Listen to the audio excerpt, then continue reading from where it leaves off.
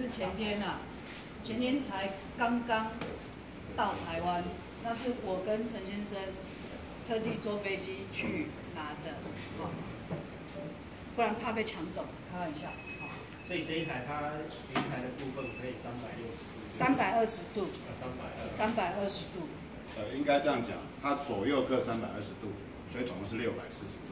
但是他没有办法像必须要部位。像大禅师他是无止境的对 free 的一直转，他是没有办法。这个我们等一下示范。我开当然都是了，重启我同意啊。同意啊。那呃，我先讲说，这个都还没有看到之前，大家问我最常问我的问题是，单控跟双控有什么不一样？这两只遥控器基本上是一模一样的遥控器。哦，没有没没有，因为我是空飞行，它是控云台，就有所不一样。所以这一台，如果你空飞行的这一台刚好放在家里，没有带出来，只有带那个也没有关系，再对比一次一样就可以飞行了。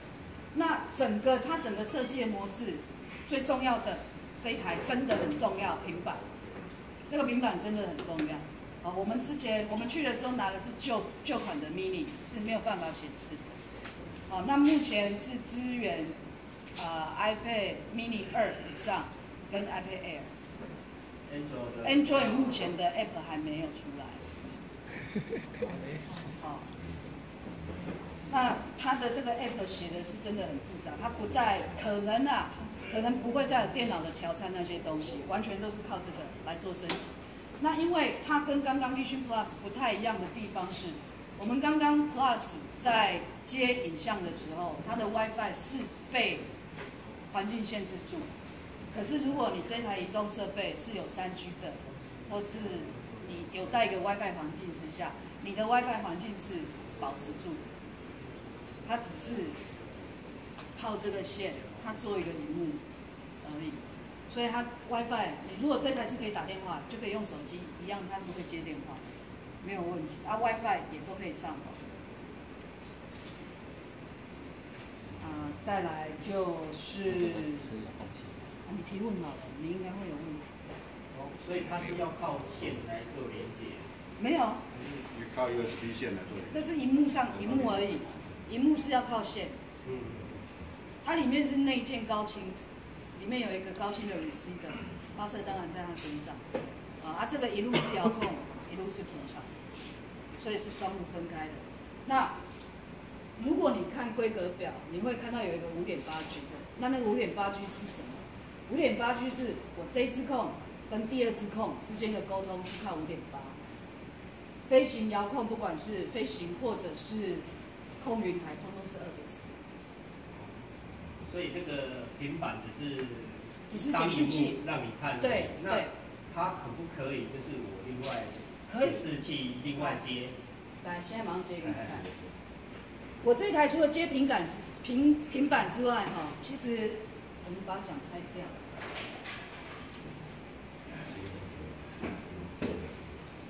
讲一样哦，他们都是防呆的，对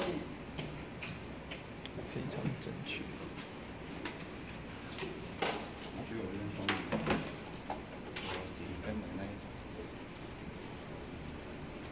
这一台平板哈、你看我们我不要去动遥控器的掰感哈、意思是它马达启动，这个跟我们之前飞小白是不是都不一样？那你说这个平板是要具备的，像这种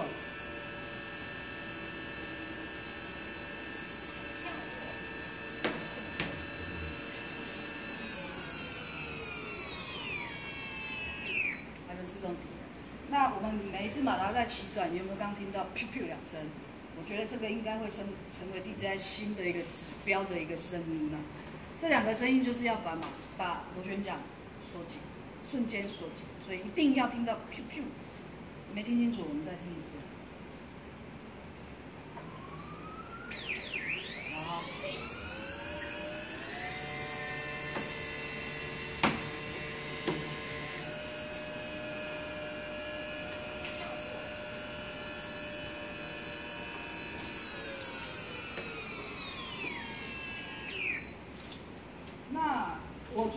发生发现一件很奇怪的事情。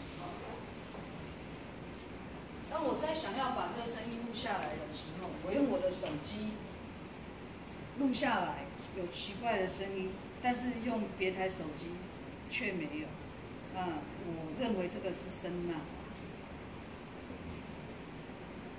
或者是你们等一下可以提供你们的想法。我录下来是这个声音，录了一次、两次、三次，通通是这个声音。等一下你们可以用你们的手机来录录看，会不会有这个声音？我不知道为什么，可能他想要退休，想要换，从都不行起。队长进来给他。这个也我刚有录，对，所以你没有，所以你没有声音啊。我有这个哒哒哒哒，对对，习惯了。我是安卓系统，啊，安卓系统。没有哎、另外别人也是用苹果也没有。没有。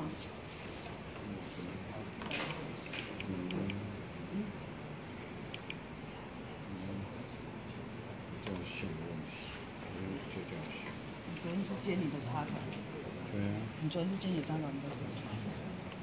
插头呢？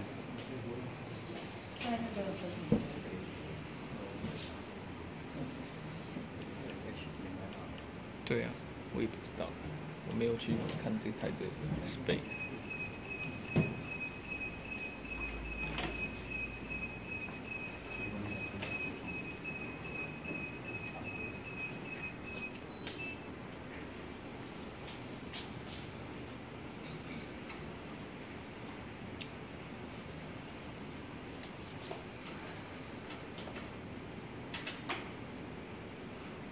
这一台呃，不能讲这一台平板啊，它这个 app 几乎可以取代你所有遥控器的动作，包括说，如果你只有单控，你买的是单控，你没有第二个人跟你配合，那我们一般单控当然就是只扣俯俯仰角嘛，对不对？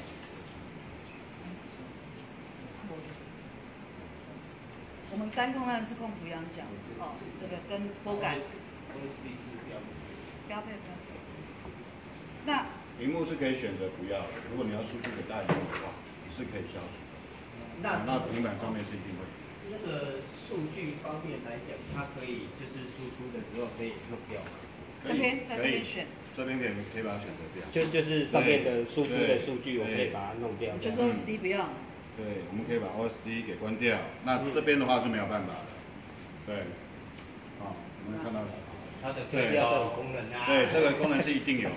它的最高画质现在它的最高画质你如果是 Live 出来是七二零，七二零 P 的。720对，嗯，好，我们传输下来的，因为这样会比较流畅。那你这台屏幕要有 HDMI in 才可以一定要。HDMI。对，像我们刚刚那个那台是 刚那台是 AV in 而已，所以不行。那我们电视或投影机有对 HDMI 有 HDMI in 的进进出插头就可以。你那应该是接触过的。接触过。那如果你是单控，这个这个还要不要看？因为哦，没关系，嘿，就只要就可以，做可以，哎是，OK，这样就好了。所以它这这一条线是一样是一样双路来，我们看一下。这条给 iPad，这一条给它。哦，这一条也是对，它就是 HDMI。OK，谢谢。太机机上的那个机片接收跟跟发射可能都是内建。对。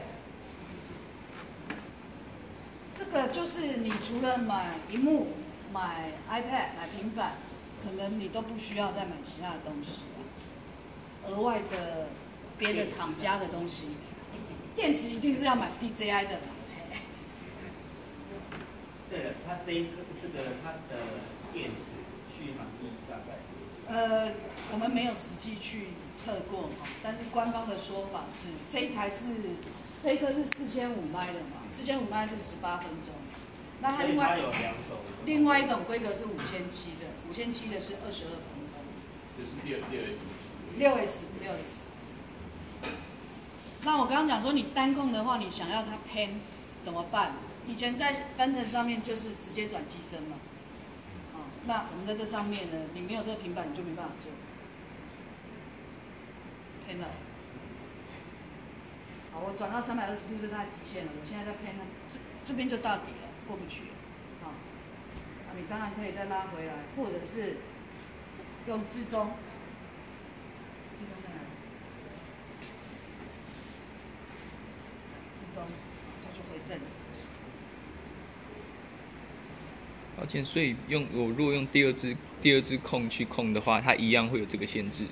一样，一样会有一样，一样。这个是云台本身的限制，不是因为遥控器的关系，也不是因为我们平板不够大。OK OK，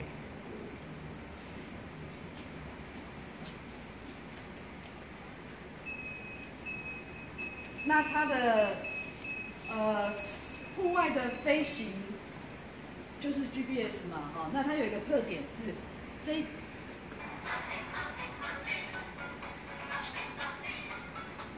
这支遥控器上面是有 GPS 的，所以新的版本呃 Phantom 最新的固件版本，它也有一个叫做动态动态返航，可能你们都没有用过，我也没有用过。它主要的用意就是说，你可能是在车子上面，站在车子上面，你是动态的在行行动，那你在坐在车子上面，你要跟着飞行器跑，这样。那你如果切返航，它是回到你刚刚的地方去啊，那你已经被车子载走了。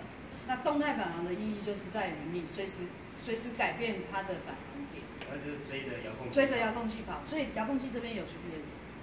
好，那我们 Plus 的话就是利用你的平板设备、移动设备上面的 GPS 去抓。那它不是一定会有误差，因为它不是没有办法无时无刻去抓你现在人在哪里，而是一段时间去抓一次，一段时间去抓一次，看你有没有改变这样子。那户外的话，GPS。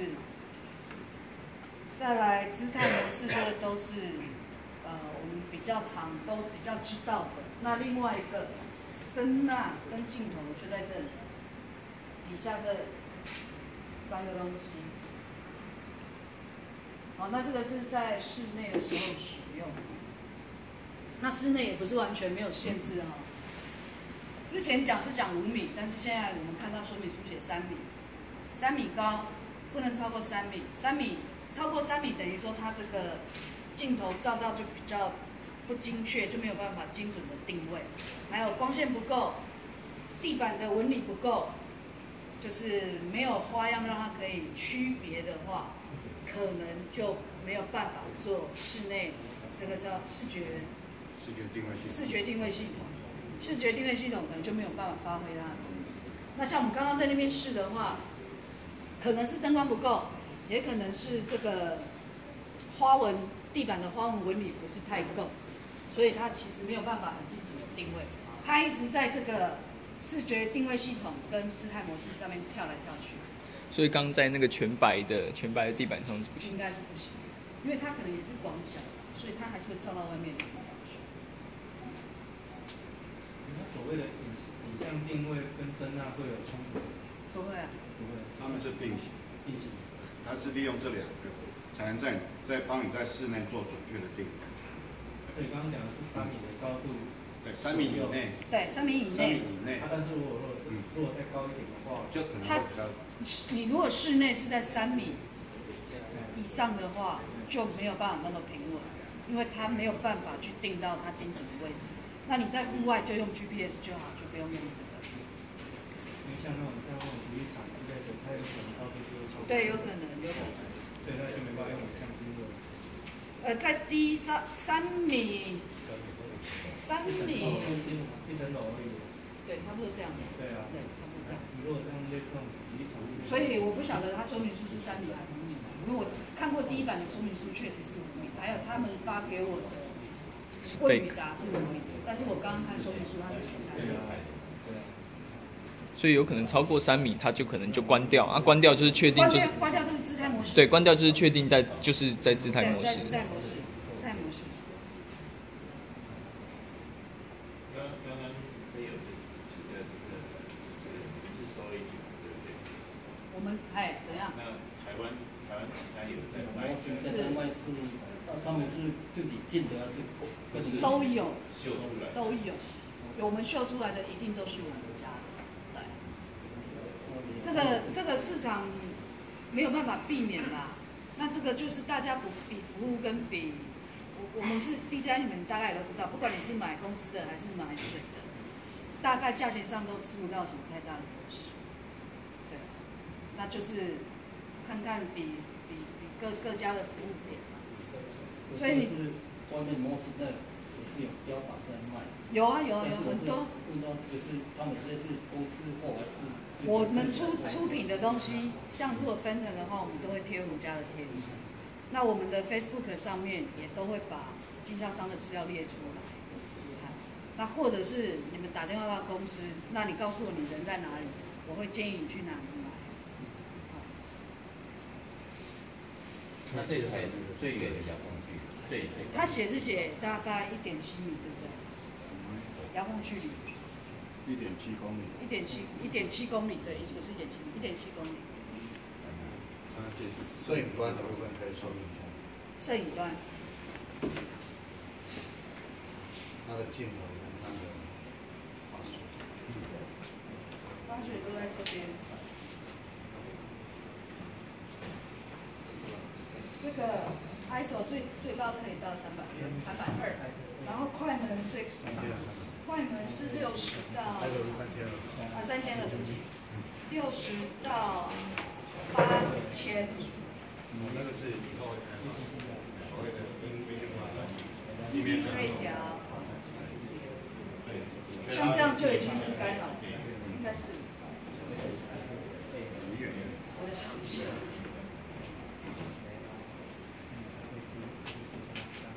然后这边就是焦段是固定焦段，焦段定焦，对，目前是定焦了。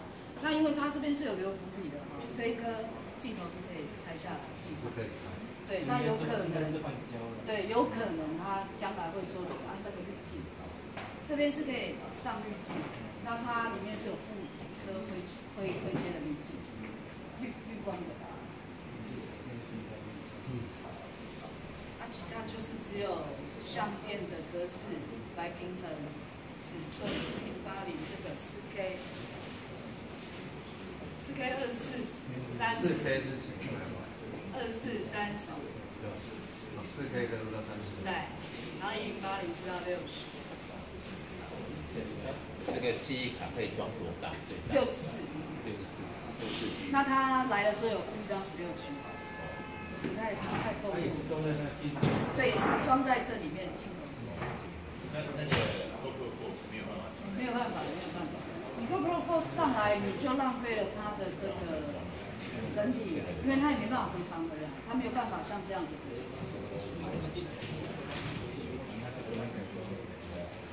我觉得它这一台最贵的应该不是这一台，这个是它附的滤镜，里面在标准配备里面就有。那箱子里面有。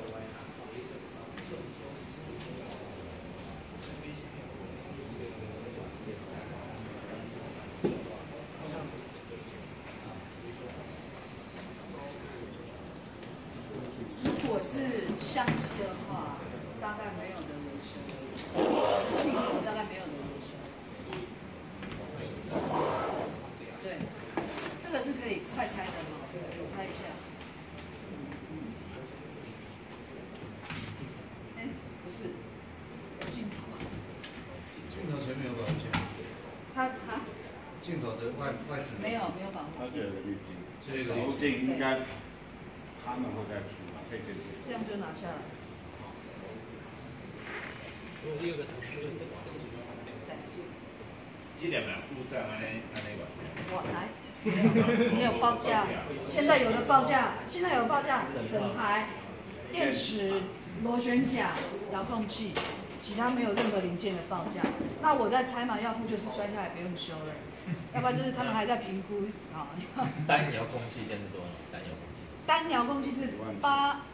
一万一万多，你是说单一只遥控器，还是遥控器单遥控器的版本？第二它个再加一个。就是单遥控器的版本是八万八千五百块，税金外加。那箱子嘛有一箱子是标配，哦，标准配备。而且请问一下，请问一下电池的售价出来了吗？之前有传言六千，哦六千，之前传言五百美金，那个是易贝上面在卖，哦，六千多就就是了。买多币这就是他的哦，两套啊。两个人去一定带两台，不然就一个人去就好啦。那标准配备电池是一颗哈，那这边那个荧荧幕放这边吗？